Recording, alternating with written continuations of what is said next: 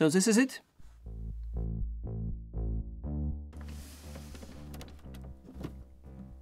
I can explain. Measure.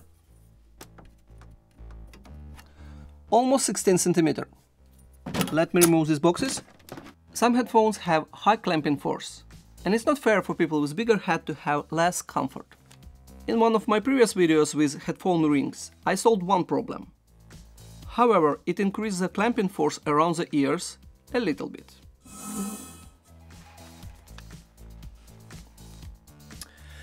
Keeping headphones like this is not an option. In material science it's called creep. How long should I wait to achieve permanent deformation? A simple solution is to add stripes and the ruler.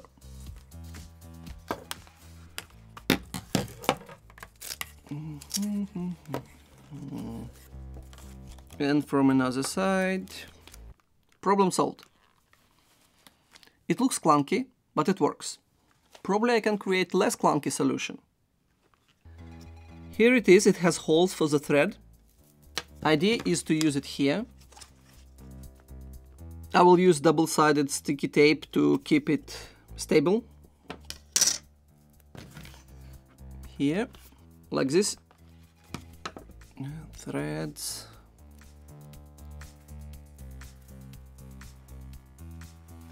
Okay, one side goes here. Second side almost ready. Something like this. Let's try. It feels much better. Let's make a little bit of science. For 16 centimeters of my head it will be this plus this plus table plate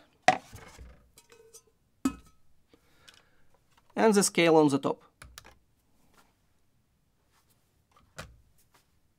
Zero. These headphones 251 460.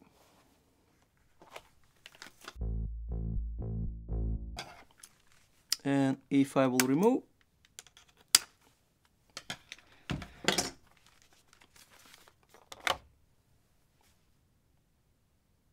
two hundred twenty-eight,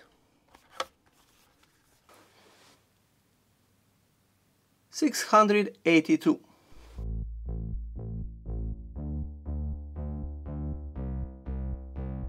This idea with 3D printed part works very well. It can be different color. I used 3mm thickness here. It can be more. But I think I can create something curvy. So I will not need to use double side tape. I'll go and make new design. The first prototype was a simple shape with holes. And for the curved version, I made shapes with adjustable size and curvature. Now I can send this to a 3D printer. I have several designs here with different color, angle. So there is slide here. It will work like this.